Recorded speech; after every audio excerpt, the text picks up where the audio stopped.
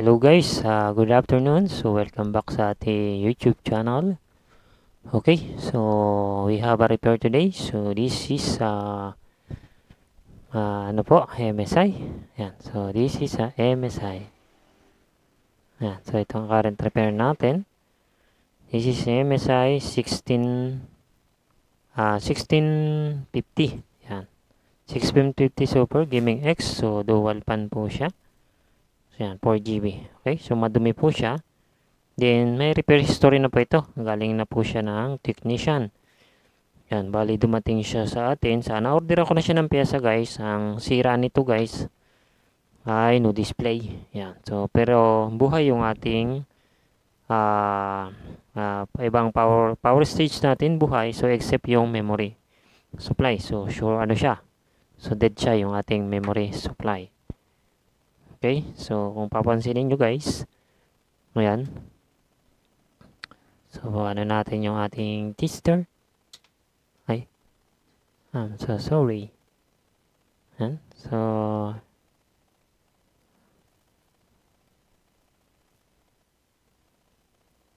so mapansinin natin sa ating tester. So, using diode mode. So, may repair history na ito guys, itong ating ano to. Bali kung mapapansin nyo, may mga plugs na siya dito. Tapos ito, missing parts din siya. So, hindi po siya binalik nung nag-repair na technician. Kung mapapansin nyo, ito, yan, hindi binalik ng technician na nag-repair. Sabi ng may-ari daw, gumana naman daw isang buwan. Yan. So, hindi niya binalik. Siguro, ito yung shorted before. Tapos, hindi niya binalik. Then, then itong fuse na ito, guys, ma-bloated din itong fuse na to. Balang ginawa niya, guys, tinago niya lang nilagyan ng wire sa ilalim itong fuse na to. So, ganun ang ginawa nung nag-repair. So, nag-bloated siguro. Connected yan siguro dito. Nung nag-shorted. So, yun. Hindi na nung, ano, nung technician na nag-repair. Bali, by LBC to yata, guys. So, ang pila ng lineup natin, 1192. Yan. Kay Sir Jules. Ayan. So, hindi maayos yung repair ng unang technician. Bali, parang ni-repair lang niya. DIY, DIY. Ah, parang ano, wala siguro siyang parts. Walang nabilan. Tapos yun, pinalitan niya. Yan. Yan, bali, yun ang history na nakita ko. Yan, so, tapos hindi na rin, hindi rin nilinis nung ano, ng technician na nag-repair. So, ito yung, ano eh, mahirap. So, maraming technician sa buong mundo. Pero, hindi naman pulito yung trabaho. So, yun lang, masakit. Kasi sayang, binayaran ng may-ari. Tapos, siyempre, siningil, tapos hindi naman binalik yung piyesang nandito. Tapos yung hindi nilagay, yung bloated, hindi pinalitan. Tapos nga, not-damage ito. So, ito yung naging cost, guys. Uh, papansinin natin. So, pag tinister po natin siya dito, yan. So, ang reading natin, mapapasin nyo dun sa, yan, sa ating ano. So, sira po ito, ito isa na to. So, yan. So, dito yan. Alam ko ito ay sira. Yan, ang nangyayari dito. So, pakita ko sa inyo, guys. Yan. Bali, order na tayo ng peso. Dumating na. Actually, ito dumating na. Yan. So, pag tinano natin dito, ito may problem to eh. Yan. Kung mapapansin nyo, yung hitsura pa lang, kung mapapansinin natin, mukha na siyang ano eh. May, may mga something flux dito. Ibig sabihin, overheated ito. Yan. So, pag ni-reading natin, uh, shorted to eh pag nag-ano. So, ngayon, parang ang reading yata nila, correct na yata yung reading, pero subukan natin siya i-power mamaya. Kasi may reading tayo ngayon eh. Pero nung nakaraan, naka-short circuit ito. So, ayan. Tapos ito, may reading naman din ito, itong kanyang, kasi nilagyan ito guys dito ng ano eh, mapansin nyo, ginamperan lang niya, tinago. Ayan. Ayan, ito yung ano. Yan. Tapos, sister natin. Kasi ang reading nitong nare-reading ko ka, anong nakaraan. Yan. So, reading natin. Yan. 1, 0.1. 0.1, 10, 17 na reading. Tapos dito, ganun din yung reading ng nakaraan. Yan. Mapapansin nyo. So, ngayon, naka-correct reading siya. So, I don't know. Pero, something may problem yata. Ito. So, I think. Yan. So, subukan natin siyang i-plug. So, yun kasi yung nakita kong problem kaya tayo umorder ng pyesa. So, plug natin po siya. 6 pin yan. Para makita natin yung sinasabi ko. Kasi nung nakaraan, ganun ang nangyari. No display siya. So yun na, ewan ko yung mga ano dito. Not, uh, ano to eh, not detected ang alam ko. Not detected yata o detected. So try na natin. Yan, ito kasi yung problem niya. eh. Okay? So, let's power on.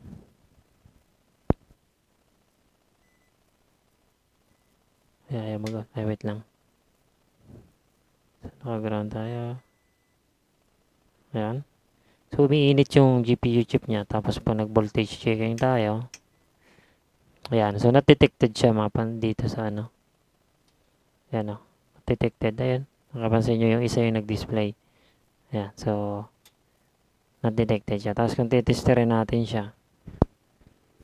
Ayan. Via voltage. So, yan, meron naman tayo ditong, ano, so may supply din tayo sa 1.8, 11 volts, so 1.8. Yan, meron, so present. Tapos yung ating 1 volts ay nasa kabila yata. Ito, nasa kabila. Ayan, tapos yun, may reading tayo. Pero pag tinester natin yung ating, ano, sa kabila, yung ating memory, yeah, may 1.3 na pala. Pero not detected siya, guys. So, nung nakaraan, kaka, nung ano, ito yung may problem eh. Ayan oh.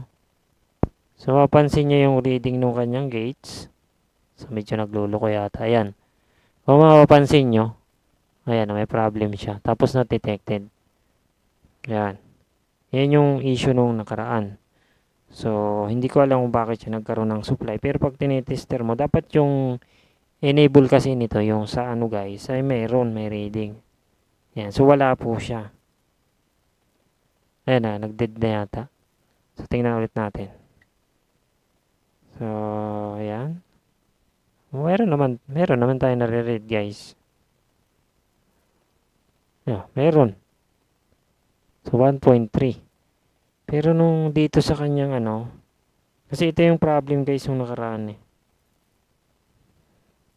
Wala siyang, ayan. Sa DC naman tayo, DC yung ating voltage. So, bakit siya may output ngayon? Nagugulumihanan ako, guys. Ayan. Bali, no display siya, guys, pero kompleto yung ating supply. Ayan. So, 1.8, so 1 volt. So, uh, sabi nung may-ari, hindi naman daw niya pinagaga, pina, ano, patay na natin, guys. So, wala siyang display. Not detected siya. yeah, so, hindi ko alam kung ano talaga yung nangyari ay uh, kasi sabi nung may-ari napa-repair ano daw napa-repair niya before tapos gumana naman daw one, isang buwan tapos noon nawala daw yung display tapos noon doon pero noon di naman daw niya pina-repair so hindi ko maintindihan medyo nagugulan ako sa may-ari kasi nasa na yung sabi niya eh, pina-repair niya before tapos nung nawalan daw ng display tapos pinadala daw sa akin so ganun pagkakasabi so hindi ko alam kung pina-repair niya ulit or ano. So ngayon, lalagi subukan natin itong lagyan. Kasi ano siya, eh, naka-blocks. No display po kasi siya guys. Tapos not detected po siya. So, na-check ko na rin kasi ito eh. Wala naman akong ibang nakikitang issue. Tapos, yung nandito, ito yung nagkikisang issue pa. Yung dito. Kaya ako bumili nung pyesa. Yan. So, wala naman ako nakita dito kasi kompleto guys. Oh. Kompleto yung ano. Yung kanyang yung kanya mga data lines is kompleto naman. So, wala akong nakikita ditong problem. So, pag ganun kasi not detected, so, hindi siya sa, ano, yan. Pag ganun not detected, so, ibig sabihin, not connected yung kanyang data. Pero I think, uh, kung umiinit kasi siya, uh, so, tapos kung mapapansin, napapansin ko yung heat temperature niya is mabilis. So, dire-diretso. Ibig sabihin, pagka ganun, ay either ano lang siya sa memory or etc. Ayan, subukan natin ulit testerin. Kasi nakabili ako ng IC nito. Alam ko ito shorted to eh. So, ano natin kung nagluloko o hindi. Subukan ulit natin ha. Kasi parang ako eh naluluko din eh. Ng ano nito. Ayan. Ayan, ba guys? kung mapapansin nyo, ito yung sinasabi ko. Ba? Yung kanya, yung ating gates guys, ayan napansin nyo ba? Yung gates natin ay 0.951. Ito yung sinasabi ko, kanina reading natin 0.6. Totally not shorted. Pero ngayon, parang nangyayari, lumalabas na shorted siya. Pag chinek natin tong low side niya, good siya. Hmm, good siya. Pero itong nasa taas guys. Ngayon, ito kasi parang ginalaw yata. So, titingnan ko kung anong mangyayari. So, kailangan ko siyang i-remove. Kaya ako order nung pyesa para dito guys. Subukan natin siyang i-remove. Yan. So, remove natin yan. Kuha muna tayo ng pantakip.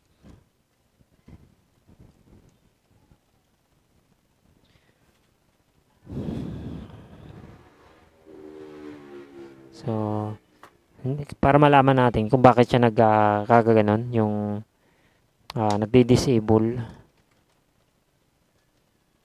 Uh, nagdi-disable ba tawag doon? Yung parang nagsi-short siya. Nagsi-short circuit siya pag uh, ano. So, try natin i-remove. Tingnan natin kung shorted talaga tong MOSFET. So, probe na shorted niya.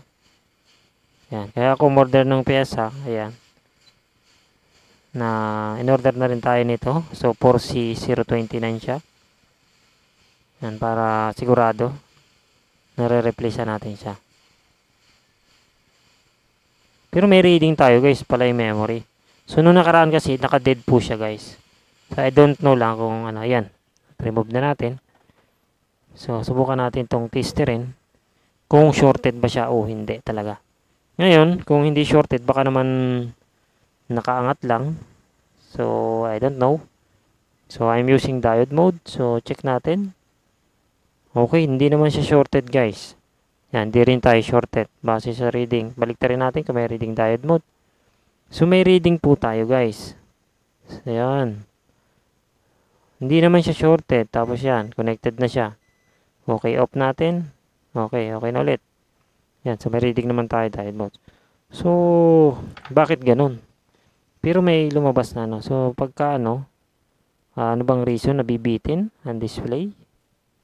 So, alamin natin. So, hindi natin alam kung may epekto yung yung ating isa. So, balik na natin to.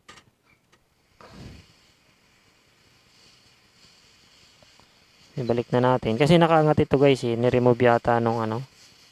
So, hindi ko lang alam kung niremove.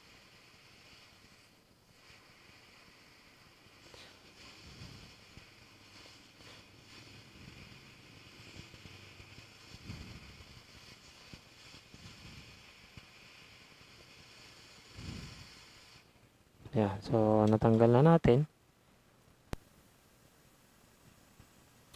Ay, sumabit.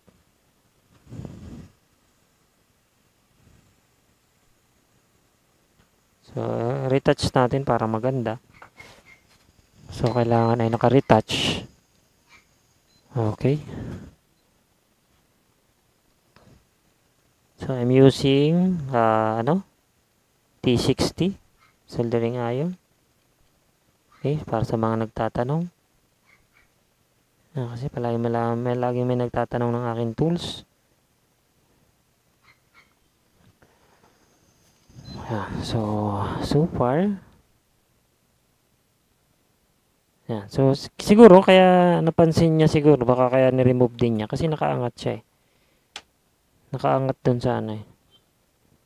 Or, hindi kaya hindi kaya ano, ang Churi ay medyo nakaangat siya kanina guys itong ano na to.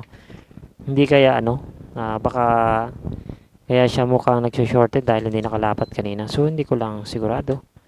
So hindi ko kasi siya tinesting guys tanggalin before. Nung tinester ko na na shorted kasi wala ako ng piyesa, umorder pa ako eh. So mabilis naman dumating halos sa, sa 5 days lang dumating na yung piyesa natin. So tingnan natin kung uh, magpa-function siya kung magkakaigi. Yan, so alamin natin bakit kaya siya nag-shorted. Kasi pag ganun si guys, yung gates niya, pag ang reading ay shorted to memory supply, kasi memory supply 1.3 volts lang eh. eh 12 volts yung pumapasok. So parang naka-shorted siya. So hindi kasi advisable 'yon. So hindi maganda. Yung gauge niya ay naka-shorted sa ano. So mali 'yon. So So naka-ready naman yung ating mga piyesa dito in case. So this is uh, 4C024 at saka 4C09 ah 29. So order na din ako nung iba kong bang order IC. Okay? So, papalitan natin to.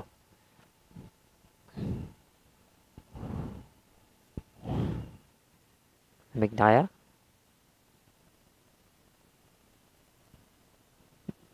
Mainit pa siya guys.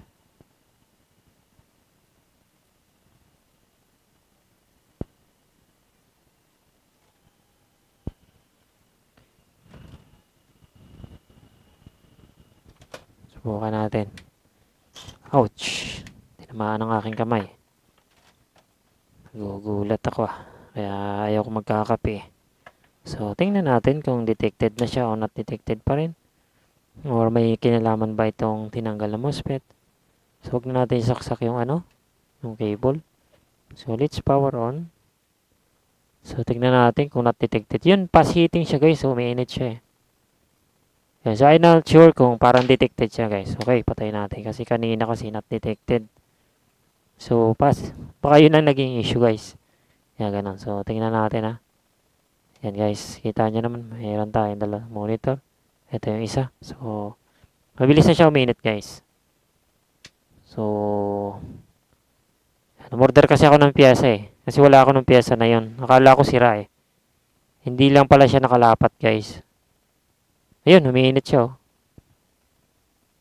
Kaya lang walang display. Saan yung... Umiinit yung chip niya guys. Kaya lang, still no display. Oh, bakit kaya? Wala pa rin display. Power off. So, nakahang siya guys. I think nakahang. So, tingnan natin yung port ko. Bakit siya walang display? So, let's try again. Power on. Kasi kanina, not detected. Dito lumalabas, not detected. Eh. Ito, kasi yung main monitor natin ng video card. Ayun. So, nag-display siya, guys. Ayan. So, ayun. May display na siya, guys. Ah. So, ang naging issue pala, guys, not connected. O, possible, ganun ang naging issue or yung pagkakahinang siguro kasi ginalaw to nung, may, nung, nag, nung technician. So, ang gagawin natin guys dito dahil detected na siya, uh, ibabalik ko lang siya guys yung mga B-core ano niya, supply tapos papalitan ko na tong itong fuse na to kasi inano niya eh, wala nang fuse uh, ginawa niya, nag-DIY siya eh. Tana, tinamper ito guys. So, tapos ito nakaangat. So, idinikit ko. So, tingnan natin ngayon kung correct na yung reading ng ating uh, yung ating MOSFET. Kasi kanina ang reading is shorted. Naka-shorted sa memory rail. Kaya, ah, ganun pa rin siya guys. So, bakit kaya? Nahihiwagaan ako guys dito sa ano na to, sa or may delay siya. Subukan natin siyang ang tawag dito. Yung short natin. Short to ground. Yan. Tapos testerin ulit natin. So, subukan nga natin i-reset siya guys. So, bakit kaya siya nagaganon? Nag-short circuited. Oh, why? Uh, huh? Parang naguguluhan ako dito guys. Bakit siya naka ano? Parang short-sighted. So, anong reason kung bakit siya no display before at saka not detected? Hindi kaya kasi may mga thermal pa din to. Eh. Hindi kaya thermal pad residue or pagkawala nitong IC na to. So, ang gagawin ko na lang guys dito, pira, pinakamaganda at pinakatabi. So, total, ito naman ay napansin nyo, nag-display. So, mag-undergo naman tayo ng stress testing. So, ang gagawin natin, ah, hindi ko na muna ito papalitan. So, subukan natin. Kapag ah, nagkaroon siya ng failure sa stress testing, saka, nat saka ko na lang siguro papalitan to. Ah, kasi sayang din eh para hindi masyadong masyosa. Pero try din natin palitan siguro. Mhm. Kasi medyo naguguluhan ako ah. Pero kasi hindi shorted to guys eh. Kaya hindi natin pala papalitan. Hindi to shorted. Hindi ko, so ngayon lang ako nakapag ah, kita ng ganito na nagkakaroon ng ano, ang minsan kasi based lang din sa experience ko, yung MOSFET na ganito na parang may naiiwan dito na ganitong reading na mali. Yan sa na may nag-iiwan na maling gantong reading na not correct reading. So minsan dahil sa pag not proper si shutdown ng isang computer, ganun siya. Ah, so ang pinaka the best na lang siguro ay ibalik ko na yung MOSFET dito na tinanggal nung naunang technician. Tapos yung ultrasonic cleaner kasi may mga thermal pad residue na rin. Tapos palitan ko ito isa na to. Okay? So ganun na lang siguro. Pinaka the best yun. Para naman ah balik natin sa dati. So, ito ay, ang MOSFET na ito guys, is DC sa 302155. 302155. Yan, kasi hindi din ayos yung mga hinang dito. So, ayusin na lang natin. So, kuha lang ako dito ng MOSFET. Yan, so, low. Kinig pa ba tayo? Uh, 3155. Uh, 302155. Meron pa siguro dito. Oops. So, this is, uh, tingnan natin to kung correct. Ay, hindi. 302155. Hindi ko alam kung mayroon. Ito kaya. 30, ayun, mayroon pa. So, marami naman ako nito dito, guys. Marami tayong mga something pamalit. Exhaust natin para tayo ay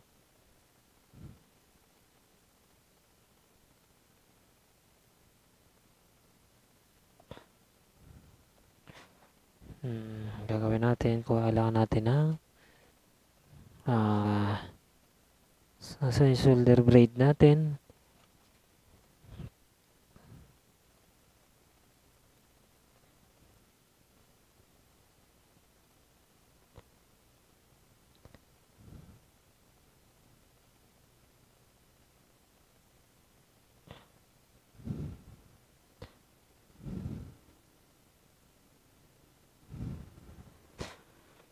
So, kailangan nating mataas na temperature. Nasa natin, 450 yung available.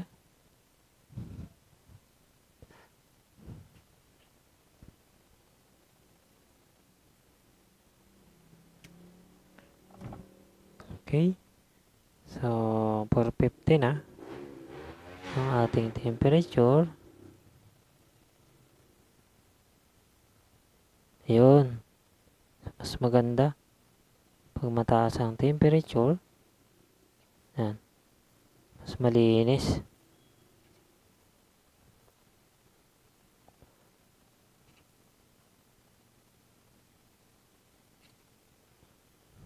Yan, so okay na. Ay, sorry, wala pala tayong microscope. Ano ba yan? Sayang ang ating pinapakita. I'm so sorry. So, mahirap kasi minsan talaga mag-record. Yan, ganito ang nangyayari. Uh, pag-focus sa repair. Yan, so, I'm sharing lang some idea and tips okay, regarding sa pagre-repair. So, lalagyan natin to. So, alamin din natin bakit kaya tinigil nung technician. Hindi siya pinalitan. Okay, may customer. Wait lang. Ayan, continuation, continuation tayo. Kasi may dumating na clients. Uh, kumuha ng repairs. Pina-repair niya. So, continue tayo dito. Ganito siya. Okay. H. Okay, ayaw magpaayos ha. Okay, ganito. So, same. Ang on na nakalagay doon. So, lagyan natin siya ng uh, lower shoulder. Yan.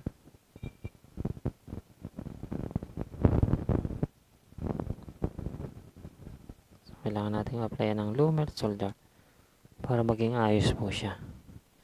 Tapos, kaunting flux. Para, kasi ano yung ano eh, durog.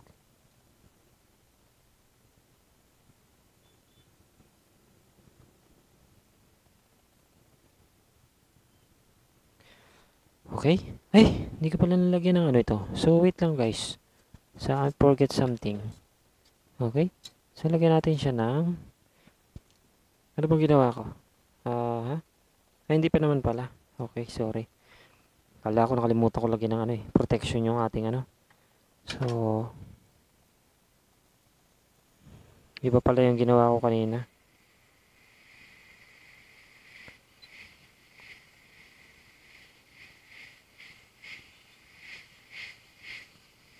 So, ayan.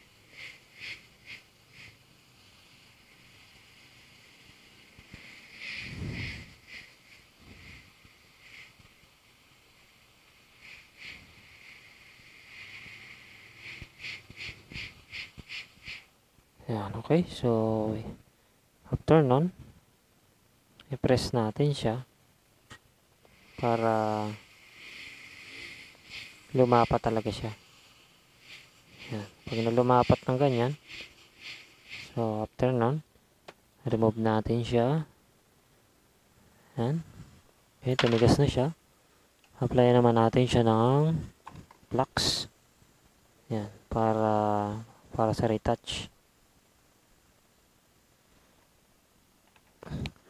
Tapos, uh, open natin to ating isang soldering iron. So, I'm using uh, 380. Yan. Ah, hindi pala to. Hindi siya pwede. At ang isang gamitin natin, uh, 380 lang.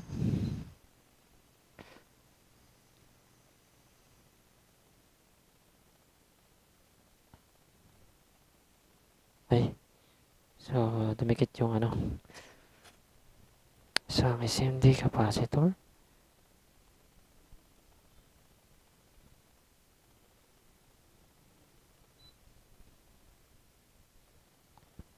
So, welding nun ay ganon.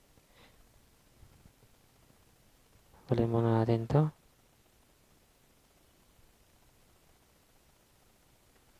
Okay, tapos dito. So, yun din naman ay magkadikit kaya walang problema. So, dikit lang natin ito nga isa. Okay.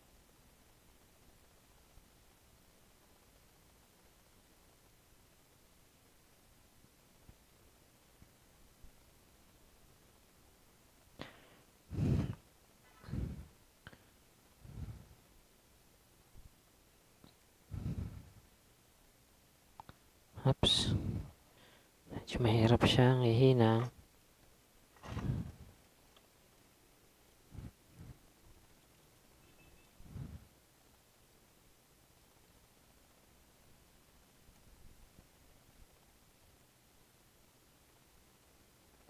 Okay. So, it's done, I think. Ayan. Tapos itong dito naman,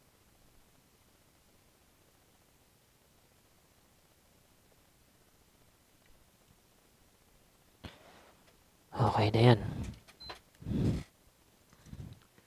So, balik na natin sa dati. So, we need to clean.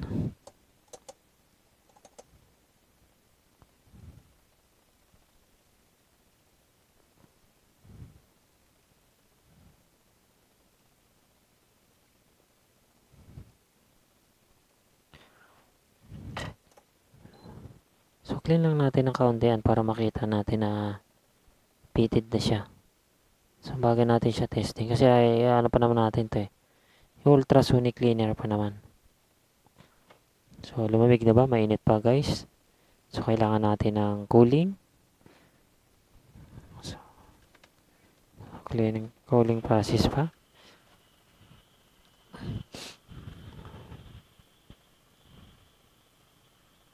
Tapos, testing ulit natin. Uh, kung puputok ba yung MOSFET or ano. So, malalaman natin yan. Uh, kung bakit hindi siya nilagyan ng technician. Yan, alamin natin. Kasi hindi ko rin siya alam guys eh. Kung bakit hindi siya tinuloy ng technician. Kung So, check natin yung ano dito. Subukan ko mag-view guys ng schematic. Uh, GPU. Uh, this is uh, B385. So, search natin. B385 version 1. So, version 1.0. Check ko lang yung schematic niya guys. Okay. Ah, so, ito yung kanyang uh, 5 volts. Okay, so may resistor naman. Okay. Meron dito. Yan. So, okay naman siya guys. Okay, so I think it's good. Okay, malamig na siya. Yo malamig na, pwede na po natin siyang i-testing. So, sana mag-work at hindi pumutok. Okay? Ang issue nito guys ay no display. Based sa sanabi ng customer ay no display po. Okay? So, tingnan natin kung magti-display. Again. Sana hindi siya umusok. Okay, alalay lang. So, hold on the, ano, Let's power on. Hop, may di naman umusok.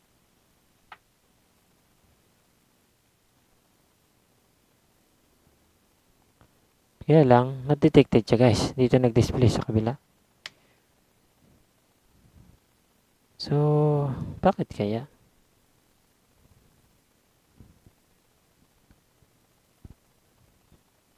Hindi ko maintindihan. Shortage again?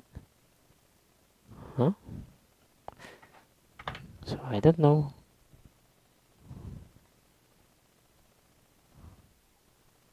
Hmm. Hindi siya uminit guys nung nakakabit yun. Ay. Ano kaya yan?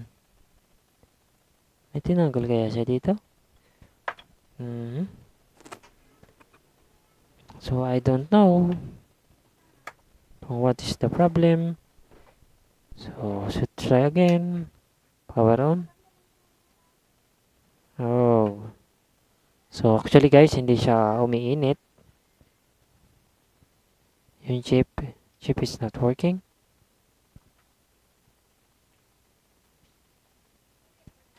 Yeah, um, working. So, hindi siya gumiinit tayo guys. So, not detected. So, I don't know what is the problem. So, So, kailangan natin siyang i-diagnose step by step procedure kung bakit siya ganon. Oops.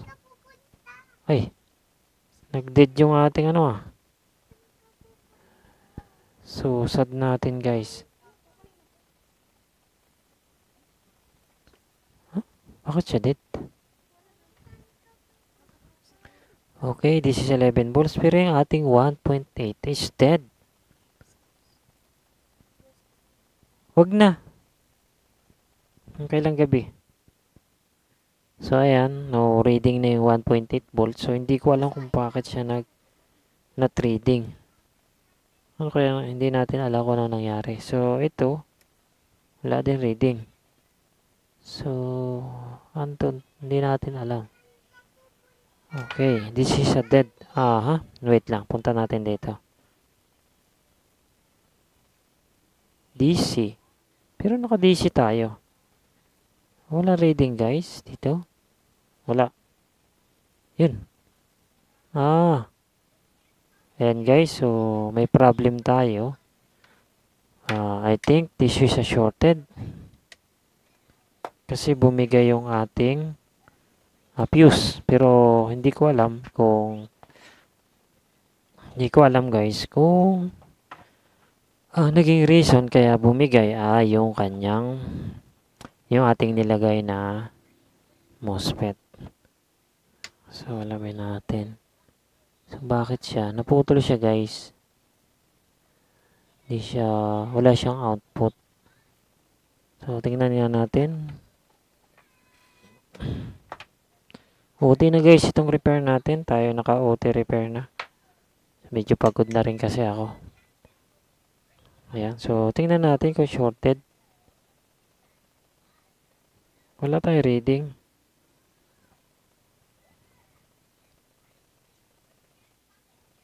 So, ayan guys. Mali putol siya. So, hindi ko alam kung bakit siya napuputol. Pero wala naman tayo dito ano, short. Okay, this is same scenario. This is ang uh, kanyang 12 volts. And, uh, parehas naman. So, yung ating mga nakakabit. So, wala naman akong naiba. So, bakit siya nagpo-blow? Ito guys ay naputol. So, ayan. So, bakit siya naputol kaya? Uh, ito naputol to guys eh. Yung nakakabit dito. Subukan ulit natin. Kung masusolusyonan ito.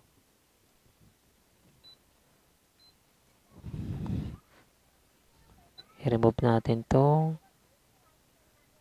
Itong ano na to.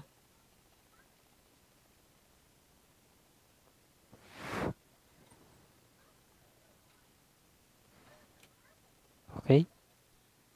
Putol siya eh.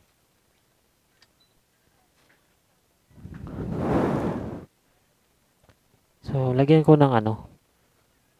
Bakit siya naputol? Hindi ko rin siya alam guys eh. Bumigay kasi siya. O, ito, naputol. Malaki yung nilagay ng ano. Pero naputol.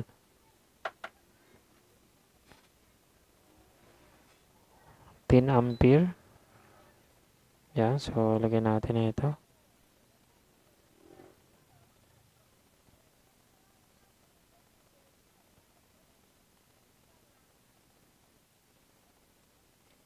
Okay.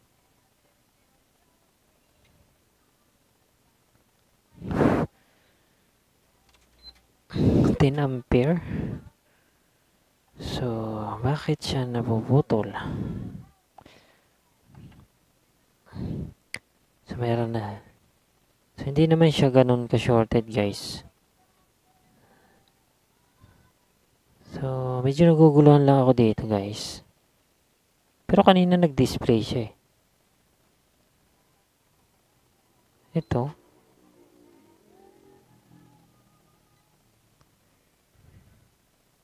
Kasi ito ay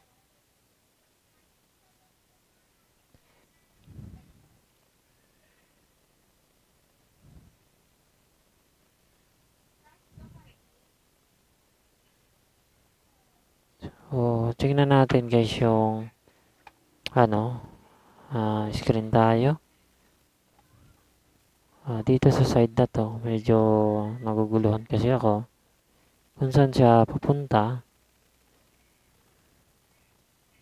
Yan. So, lipat tayo sa kabila ulit. Yan. So, papunta siya doon ng isa dito. Pin number 9. So, bakit siya ganun? Okay naman na yung reading. Ayan, balik back to normal na guys. Back normal na yung reading natin.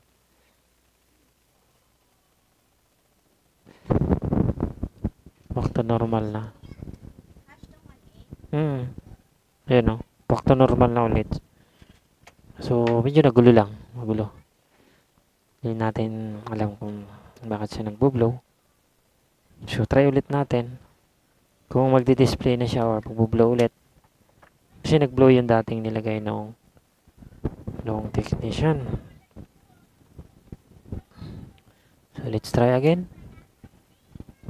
Power on. Oops, sing. So nagbo-blow po tayo.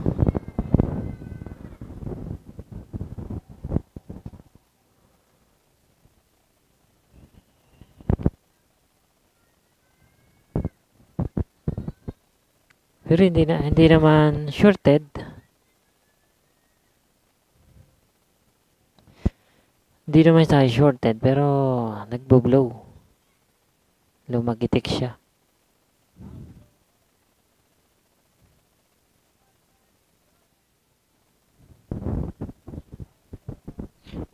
Ano ko yan sira niya?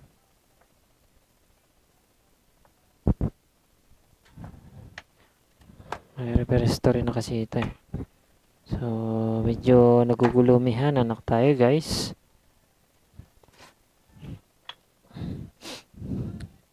So, inspection natin mabuti.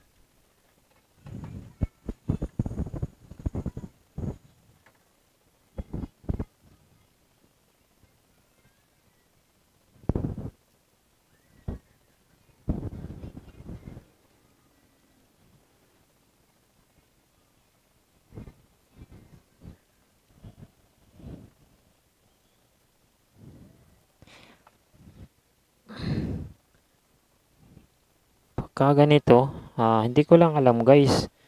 Pero dapat kasi hindi siya magbo-blow. Ah, pwede natin yung lakihan yung nakalagay.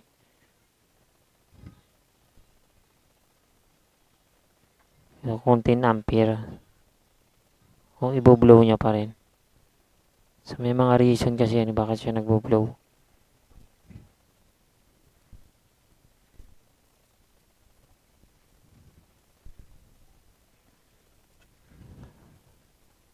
So 5 volts rail siguro.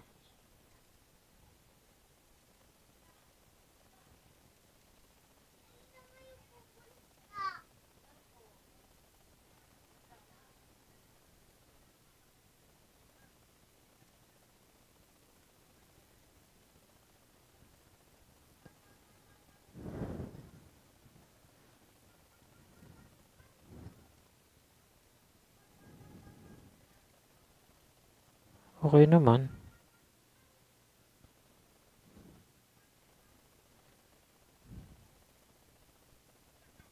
One, two, lima.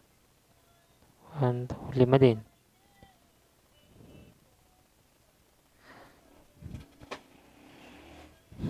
Bakit kaya siya nagbo-blow?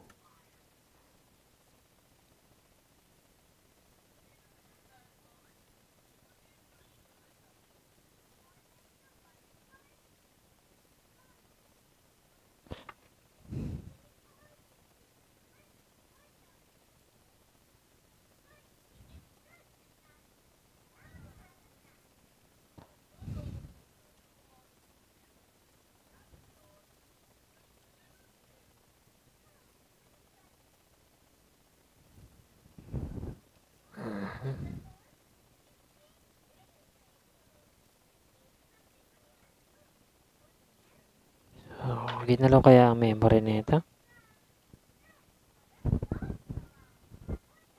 May mga flux siya guys eh.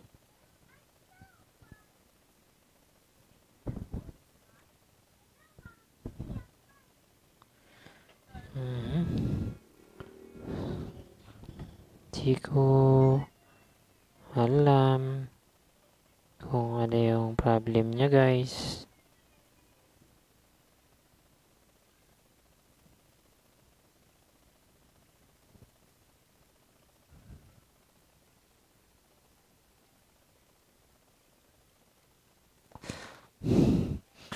Subukan kong mag-supply. Ay, supplyan ko siya guys ng na 12 volts. Susubukan natin lang. Ayan, so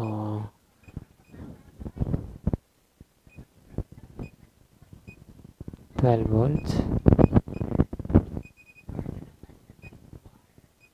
Ayan, so subukan ko lang siya kung ano mangyayari.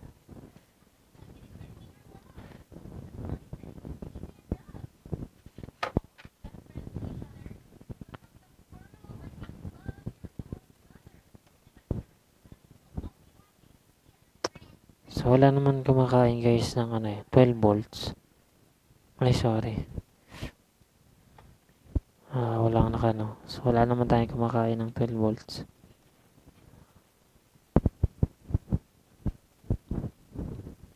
Musok ka. Ayun, so guys, wala naman.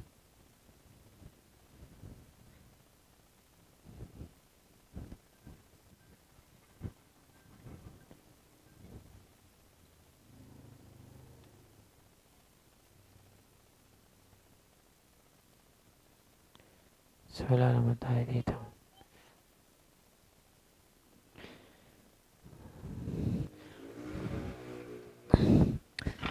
So, wala. Wala tayo nakikitang ah, problem.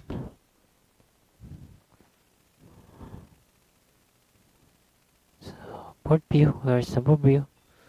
So, pasok tayo dun sa kabila. Kasi, ito lang naman yan. So, yung 5 volts natin, yung ating drive, ito. So, this is 0 ohms. Punta doon. This is 0 ohms also. Punta dito. This 5 volts. Ito yung 5 volts. So, may 5 volts tayo doon. So, titingnan natin itong mga to. Dalawa to guys, ito at saka ito. Uh, ito, 10K. This is 0 ohms. Saan ba? So, okay na. 0 ohms. 0 ohms.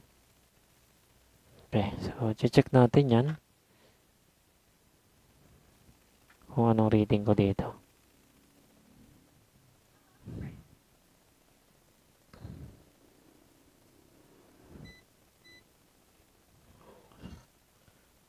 Bukan ko siya guys i-reading. So, readingin ko lang guys. Wait lang. So, this is ah, 9 point so 9.5 ohms tayo guys reading. So, usually that's not normal. 2.3. So, ang reading natin ay mali. Mali yung reading. So, dito guys ay ito ay 2.3. Tama naman guys. So, ay hindi, mali. Mali pala ako. Wait lang guys. Ayun pala. So, dito ay 2.0 ohms. Ito ay 10K. So, dito ay ah, 0 ohms. So, wait lang guys. So, check ko lang. Okay, this is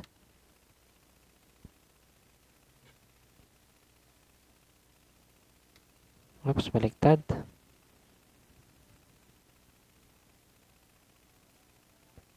So, we have a reading na 0 ohms. So, dito sa kabila. We have a reading na 2.3. 2.3. Bakit siya 2.3? So, this is uh, 10K, correct? So, 2.3 dito sa ano, kabila. So, 2.3. Iba yung nandito guys sa schematic. This is 0 ohms pero 2.3 siya dito. So, I don't know. Ang gagawin natin dito ay maglagay tayo ng uh, mataas na amperahe. Uh, so, lagyan natin siya ng mataas na ampere dito. Kasi mataas yung ampere nito eh.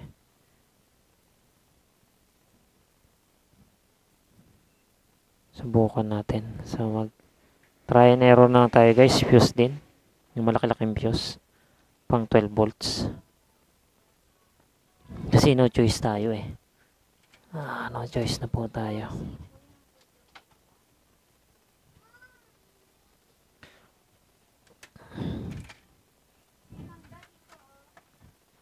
Wala ako maglagay ng fuse.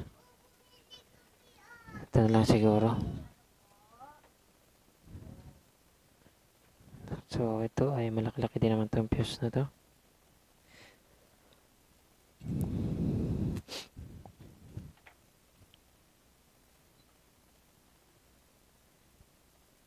Yan, 12 volts yan.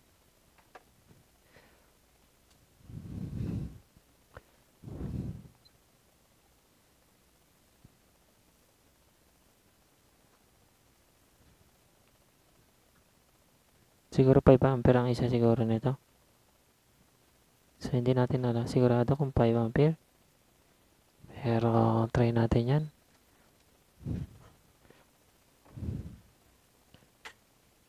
So, kailangan ko lang ng malaki-laking fuse. Baka ito mas malaki.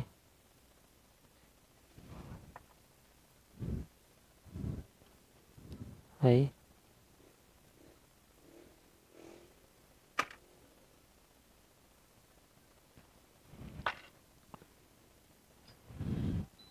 Wala, kailangan natin subukan. Pag hindi sinubukan ay wala.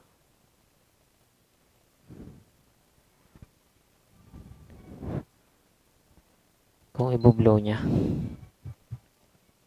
Kailangan natin ng malaki-laking views.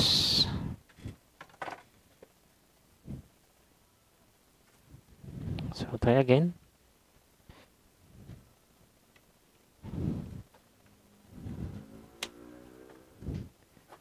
So, let's try. Kikita nyo naman yan, guys. Okay. Uminit ang chip. Okay, power up natin. Kasi merong ganun, something, uh, pag maliit kasi yung fuse, hindi siya gumagana.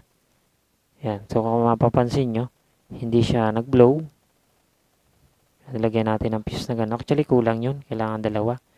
So, may pwede yun guys, yung dalawa na yun kasi 12 volts yun. So, let's power on natin. So, gamitin natin yung DC bench display. Yan, dapat mag-display dyan sa malaki. Okay, let's power on. Yan, o, pansin nyo. So, it's, uh, we have a display or no? Let's wait. Yan, so, yeah, we have a display, okay? So, the job is done. So, minsan kasi, binublow niya kasi yung ganun pag masyado siyang maliit. Kasi may requirements din kasi yung ating, ang mataas yung amperahe na requirements ng ating GPU. So, hindi niya kaya yung maliit lamang. Kaya niya binublow. Okay? So, okay na ito guys. It's working. Okay, ang gagawin na lang natin ay uh, dadagdagan na lang po natin yung kanyang fuse. Yung isa. So, para hindi na masayang yung ating pagkakaano. Kuhanin na natin yung isa. Ayan. So, yan. Kukunin na po natin to. Ayan. Para may magamit tayong libre na fuse. Okay. Saka ito guys ay 12 volts naman to eh. Uh,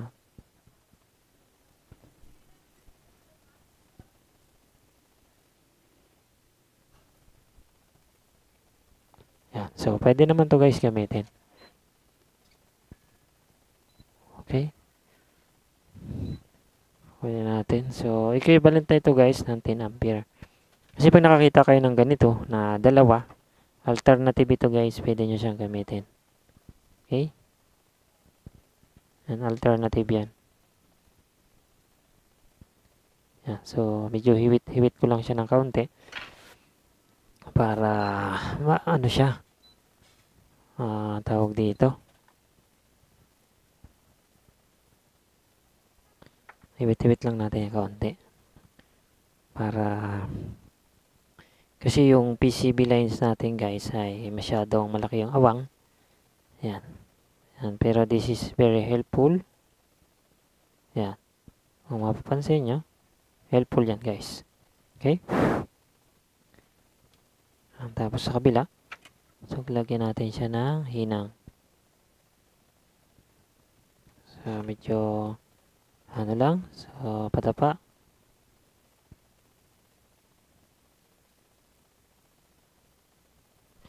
Yan. Okay? Tusagyan natin dito. Yan. So, okay. Better than factory.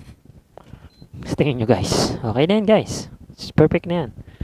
So, equivalent 5 ampere plus 5 ampere equals 10 ampere. So, yan. Ganyan lang guys kasimple. So, okay na guys. So, may display na yung ating unit. Yan. So, based kasi si guys sa aking experience sa pagre-repair, ah, may mga ganong sistema na yung jumper natin pag maliit, bumibigay siya. Kasi hindi siya, ah, mayroong, ano kasi, kailangan kasing minsan yung ating GPU chip at memory, ah, dahil, dahil, dahil galing siya sa pagka short circuit, so kaya, kaya niya i-blow yung maliit lang. Yan. May na-repair na ako niyan guys sa sa ibang video card. ah, sa Sapphire yata yun. Ah, ganun. Dinalagyan ko yung jumper. Nagbo-blow siya. Pero ano naman guys, ah, sa, nakita ko, wala naman shorted. Nag-eject ako, sinubukan ko yung 12 volts na dumaan. Hindi naman niya binublow yung kanyang ano. So, ang ginawa ko guys, nilagyan ko ng malaking ano, nilagyan ko na ng fuse. Yan, nilagay ko yung fuse guys, gumana nag-display. So, okay naman, hanggang ngayon buhay pa. Yan, so, yan guys, so far so good. It's working na yung ating card. Okay, wala na tayong, wala na ako nakikitang issue dyan. Bali, ang gagawin ko na lang dito guys ay lilinisin na lang natin to. Kasi may mga thermal band residue na rin siya. Tapos may mga flux yung ginawa natin. So, at saka medyo may dust siya po yan. Lilinisin lang. Tapos stress test natin. Okay, kapag kaya nating isama sa stress test ang record, so sasama natin. Kung hindi naman ay so okay lang. Hindi na natin guys sasama. At least napa-display natin. Kasi this is no display guys uh, from uh, repaired natin na uh, line number na 1192. Ayan. So, no display ito guys. Sinad sa atin. Ayan. So, okay na siya guys. It's working. Okay, so we give you an updates uh, later or tomorrow kasi 7.26 na ngayon. Hanggang alas 7 na tayo. Buti repair na kasi ito eh. Okay? So, yung mga video stress test kasi natin is sa cellphone na natin inila-live or ina ano eh, nare-record. Kaya dito sa camera record natin sa computer ay hindi abot malayo stress test natin sa kabila. So, pero try natin. Sana may sama natin. Okay? So, hanggang dito na lang guys yung ating video repair. So, thank you for watching. See you on the next repair. I hope you enjoyed the video. Okay? So, bye for now. Bye.